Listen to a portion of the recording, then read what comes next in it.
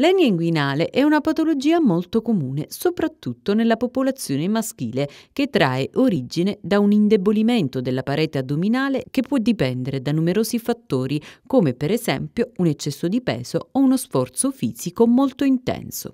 Si manifesta tipicamente con una tumefazione a livello dell'inguine che produce fastidio, dolore e senso di pressione locale. Al Marelli Hospital ad occuparsi di questa patologia è il dottore Medani Abram, chirurgo generale. La diagnosi è semplice perché normalmente il paziente lamenta gonfiore in sede inguinale che può essere monolaterale o bilaterale. Eh, il dolore è un sintomo che viene riferito per prima, in più possono associarsi sensazioni di nausea o di vomito se l'ernia diventa grande, se viene trascurata. Perciò al primo sintomo, quando c'è un gonfiore in, in zona inguinale, che si tratti maschio o femmina, bisogna rivolgersi al proprio medico curante, il quale può indirizzare il paziente al chirurgo. Una volta fatta la diagnosi, prima si opera e meglio è, perché il rischio del, dell'ernia è lo strozzamento. In casi peggiori si può arrivare anche a un incarceramento come la patologia eh, è una patologia esclusivamente chirurgica, perché l'ernia non è una malattia, è un difetto della fascia muscolare, perciò va riparata. Prima si fa e meglio è. Quanto dura l'intervento e soprattutto com'è il post-intervento per i pazienti?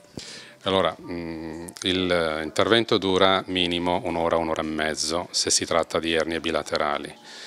Mm, se sono presenti contemporaneamente la via di accesso o l'indicazione chirurgica e laparoscopica. Ci sono due tipi di interventi. In laparoscopia si chiama eh, TAP o TEP. La TEP è una tecnica che si usa per le ernie bilaterali piccoli, mentre la TAP può essere anche fatta per le ernie grosse o quelle ernie di una certa data, datate. E la convalescenza, essendo una chirurgia mini-invasiva, ovviamente il dolore è minore, è molto meno, è ben tollerata e la ripresa della propria attività lavorativa, sia si tratta di un'attività lavorativa sedentaria in ufficio, sia si tratta di un'attività lavorativa che richiede un certo sforzo, che può essere l'operaio, che può essere il meccanico, che può essere anche un calciatore o uno sportivo a livello agonistico dopo una settimana, massimo 10 giorni, può riprendere sia l'attività eh, lavorativa sia l'attività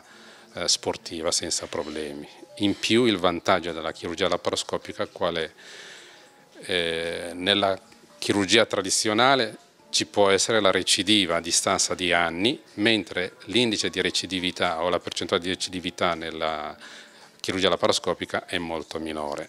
Perciò l'invito che si fa ai pazienti qual è? Mai trascurare, soprattutto i maschi, quando vedono il gonfiore pensano che eh, possa rientrare, ma eh, il gonfiore è classico primo esordio di ernia, perciò prima si va dal medico proprio curante, prima si fa la diagnosi, prima si può intervenire.